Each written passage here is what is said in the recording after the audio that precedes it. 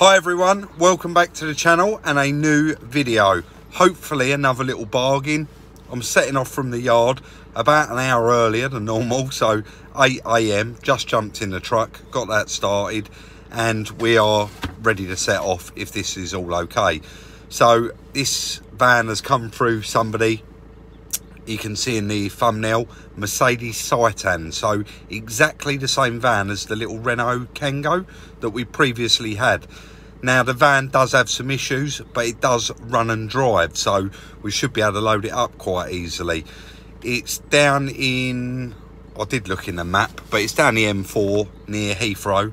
It's been a while since I've been that far out in the truck but I'm going to set off now head straight down there as long as it checks out and hopefully buy another little peach we're going to try and get this one turned around as quick as we can as well because there's a shortage of vans and I know there's going to be someone watching who's desperate to buy that van. So let's do a quick check on it. As long as it all checks out all right, we're going to head off and purchase it. I've punched the reg into car vertical, guys, and it's come up Mercedes-Benz Citan.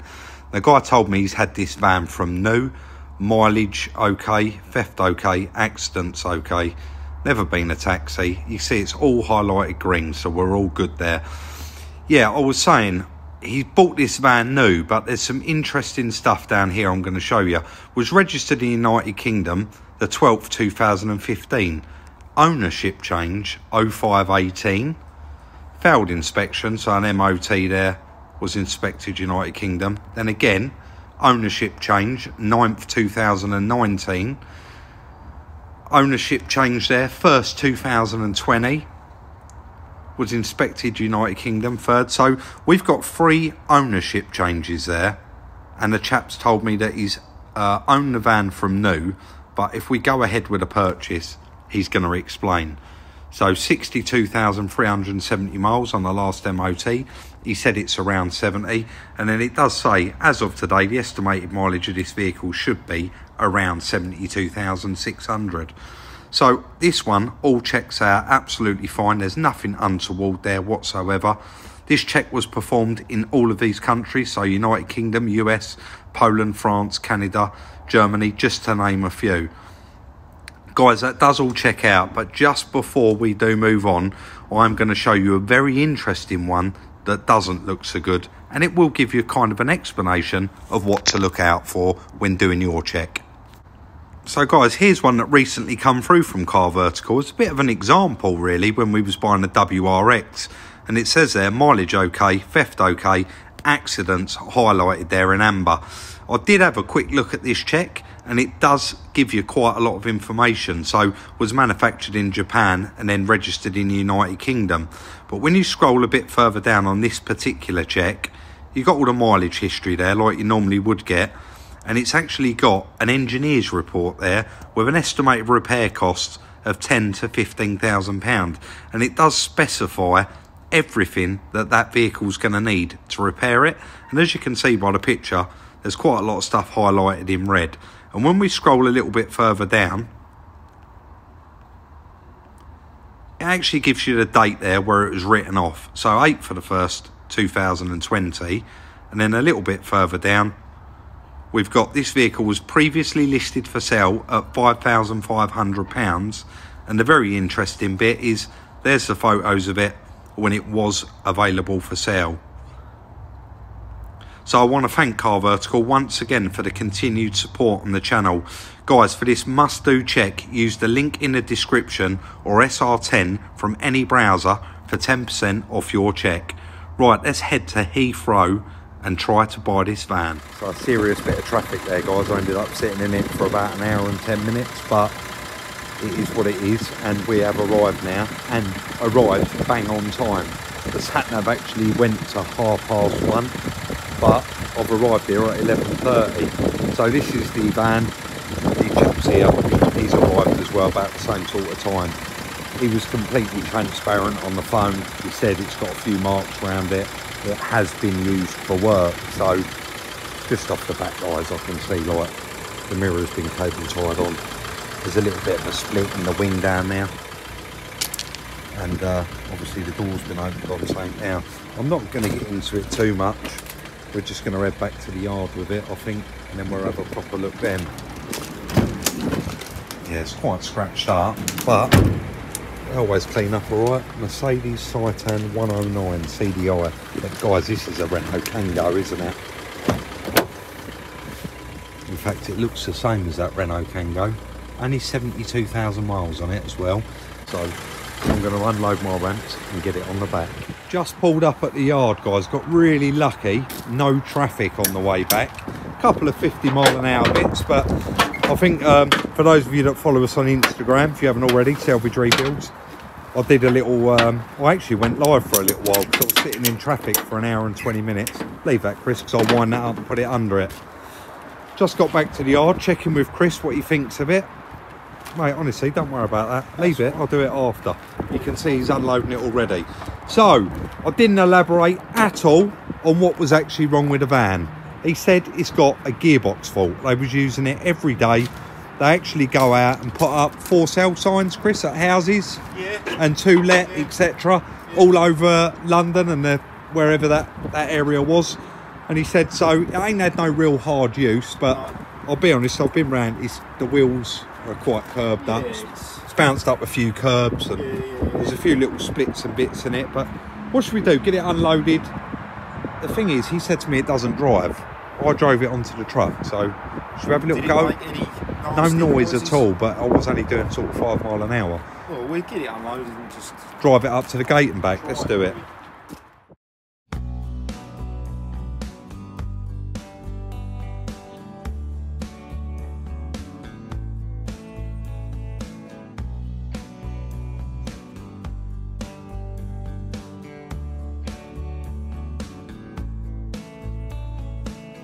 Guys, I'm going to film this live and I'm going to plug this in, this microphone. But I'm not really going to speak anywhere near it. It's just to stop the wind noise because it's not very good, this microphone. We've tried it before. Let's do it.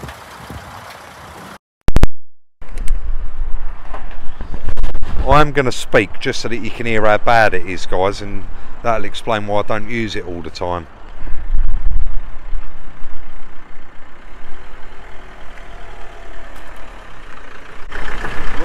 Right. Yeah, I drove it on. Chris, I've plugged this mic in really more as a bit of a to show that it's not very good, but I've hung it down low. Don't like turn, does it? Can it? That's what CV does. Oh, is it? Yeah. Oh, I'm- Come closer. Go hard lock. Really? Yeah, he did say that the gearbox looked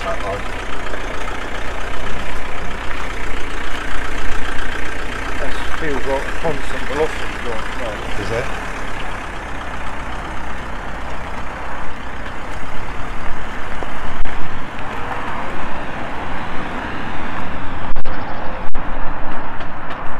Oh, that don't sound good when he just slowed down, guys.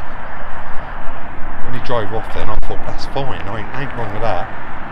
Nank, I've got to stop saying that. Nothing wrong with that.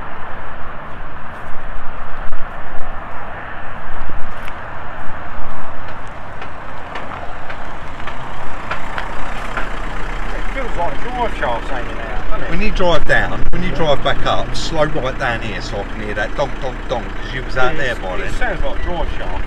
Is it?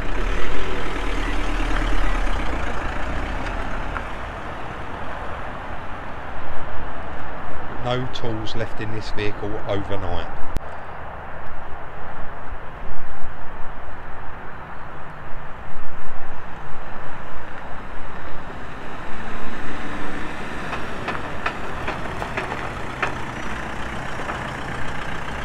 That'll be the cup in the gearbox. Been to a mechanic that's been looking after it the whole time and he said that he thinks the pick in the gearbox has gone. Oh. Yeah, sorry, I probably should have explained. You know what I'm like, you have to ask me twice. But it, it, I mean, it's worth at.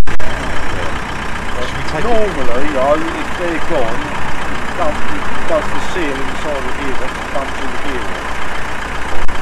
It taking it for a drive? You got those two bearings, one inside the skid, and you got the outer seals. When they go, it's head, there's the seal up here, like that place it. Should we take it for a drive or not? Probably not. No, it's the same snatch with get it up on the jack though, have I? They want to go on the lift, don't they, really? Or, I mean, the can Stay do, with it. the can do, you know, it's a good jolly jacket. Yeah. So, Have a grab the drive shafts. Yeah. let's do that. Chris is not convinced. No, not that he's not convinced. Just wants to give. You want your own opinion of it, don't you? That's Yeah. basically what you said. So, he's we have did roll it up my ramps and check the drive shafts, but we have put it on a jack, and he's actually going to run it, and we're going to test this side, and then we'll probably move over and test the other side, Chris. Right? That does sound in the gearbox. Gearbox. Yeah. Do you know what, mate? Sorry. Jump in there and run that. That's exactly. you hear that on camera? Yeah, I don't think they can, but if you knock it out of gear, you should hear it, or just let it slow down on its own, like you did out there. Yeah. I'm going to come a bit closer, guys. I'm really hoping that you can hear it. that's assuming it is this side, because only this wheel will turn. Yeah, that's right. Yeah, So, uh, it, we might... we'll try both sides might have to anyway. jack the other side up. Sorry about the bit of sniffing there, guys. It is, as you can tell, raining outside, and it's quite cold. And it was lovely yesterday. It was like a summer's day.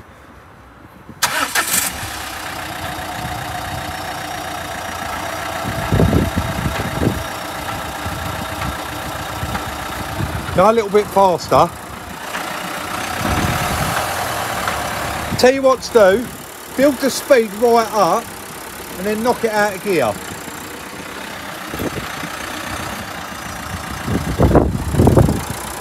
Let it build right up far.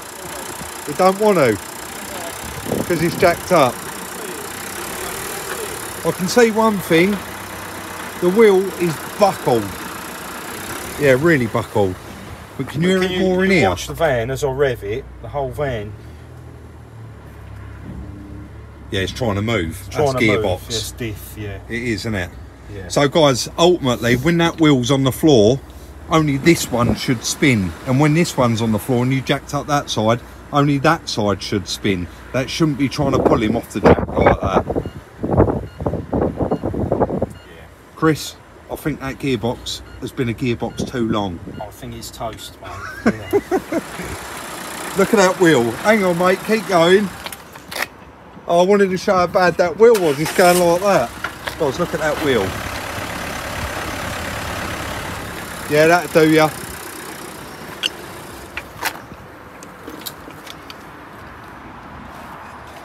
So yes, knackered gearbox. Looks quite tight in there, guys, as well, doesn't it? Oh, we, we do like a little bit of a challenge. It ain't that. Do you reckon that's good enough? Do you reckon that gearbox would be good enough? They drove it to the garage. I want to see what we're up against. Look at the state of it. Bucket and sponge mate. No, I'm not going to bot. I'm saying, do you reckon it'd be alright driving to the car wash? Uh, Shall I? Well, you got to walk back if it breaks down, haven't you? Yeah, but look- Get your truck. It'd be nice to know what we're up against, wouldn't it? Yeah. I'm going to whip it down and have I'll it just go cleaned. steady then. Oh, we'll go steady. I always go steady. Right. So, guys, Chris did just actually say, Rob, it ain't a bad idea if you just nurse it down there, get it cleaned. We don't want to work on it when it's this filthy dirty anyway. But he said you can kind of two birds, one stone. I'm only going to go in the unit now and research and find a gearbox for it. Guys, I can whip down to the car wash, get this all cleaned out, and while they're doing it, I can sit there and research for a gearbox because I want to get a gearbox, get the mirrors, get the wheel sorted, and get this one out the door for one of you guys. I know that there is still that major shortage, and I think this is going to be a nice, affordable little van for one of you. So let's do it. Wish me luck.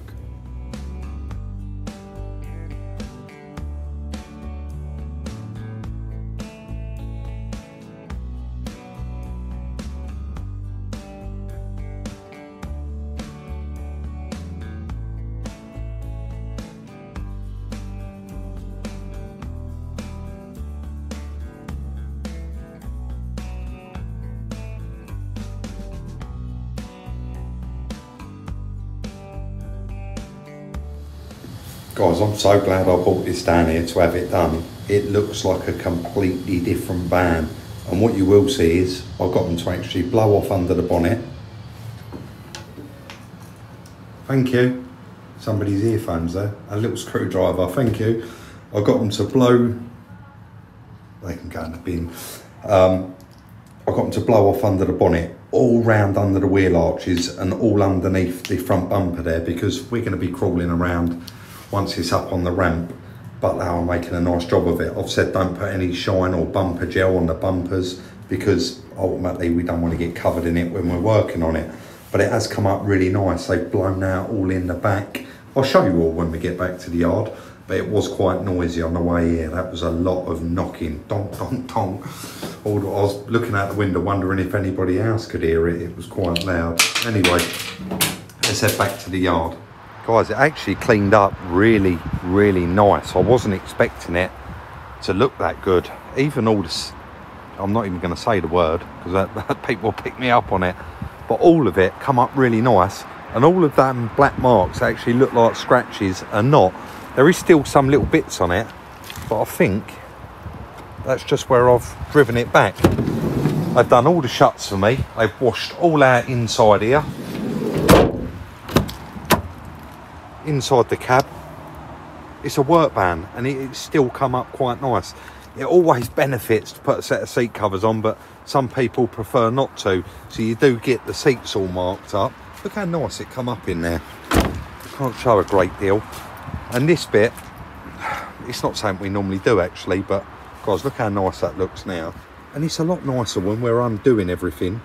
You can see everything and it's not all covered in grime. So done all inside there as well. I'm really, really happy with it. And I've also got some really, really good news. Let's go in the workshop and I'll tell you. I'll also elaborate a bit on all the uh, owners on the logbooks. So guys, I've just took Chris outside and showed him it and he agreed. Looks completely different. It was very, very noisy and I certainly couldn't have gone any further than what I just did in it. It just aged, you know, it aids us when we're taking it apart. It makes things so much more easier to see. It's nice when you take things out and they ain't covered in muck. It really wasn't dirty anyway. It just wanted the dust blow, blown off of it. So that's all done now anyway. The good news is why I was sitting there, I managed to edit this video because we had a completely different video for you for today. But Chris said, you know what, Rob, if you've done it, you know, let's put it out there. It's a new project. So I actually started this video first thing this morning and I've managed to get to now and complete the video. The other good news is I rung around local and could not find a gearbox for that van. They must be quite notorious, the Renault Kangoo's um, Mercedes Citan gearbox. But I did make a call to Silverlake guys and they have actually got a gearbox in stock out of an 18 reg van with really, really low miles that's had a hard smack in the back. So I've actually purchased that gearbox and he said, Rob, you've rung just at the right time. The van, the delivery company is going to be here in an hour.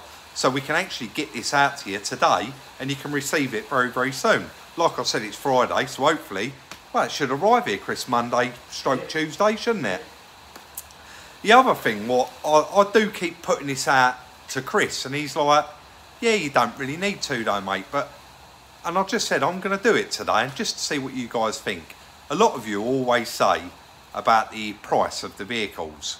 Before I get sidetracked as well, I must tell you about the V5 the price of the vehicles, you're way too cheap. And we, I guess we don't ever say it. Guys, we sell our cars as is, where is, sold on a trade sale basis, Chris, right? Yeah. What, what, what would you add to that? Uh, below trade. We, price we sell them, yeah, we sell them below trade price normally, and I used to trade all of my vehicles out to other traders, and it's since YouTube you guys do ask for them, so that is why we kind of sell them cheap. But I am going to go on. Don't offer dealer facilities. No, we don't offer No dealer finance, facilities, no like finance, no warranties, no frills at all. They are sold purely under trade on a trade sale basis. So what I am going to do is just ask you guys, how much do you think it's worth, that van all done? New clutch, new gearbox, ready to go. Drop it in the comment section down below and maybe that might reflect when I do the numbers in the end. So just quickly about the V5 before I forget. That van has had one owner from new, And I met the owner today, and he's a follower of the channel. And he said to me, Rob, I've got three logbooks here for this van. Only one of them's current. Obviously, the other two are previous ones. And guys, would you believe every time he changed his address, they actually added a new owner to the van? Chris, what what did you say you thought might have happened there? I think probably when he's changed his address, he's uh, ticked the wrong box. What, like maybe new New- keeper new or something like Yeah. that? It's certainly the first time I've ever seen it. Have you seen it before where that's No. happened? It's very, very, very unusual. I should think probably where he's done an address change, it's probably a robot that does that side of it. And the robots just keep adding a new owner. I don't know, guys, but we don't care if it's had one owner or six owners. It's going to be the same price when we do the numbers and come sell it at the end. Guys, like I said, I started this video this morning. It's Friday. So I hope each and every one of you have a lovely weekend. Don't forget, share on all your social networking sites. Follow us on Instagram at Salvage Rebuilds for the sneak peeks. Have a lovely weekend, and we'll see you Monday in the next one.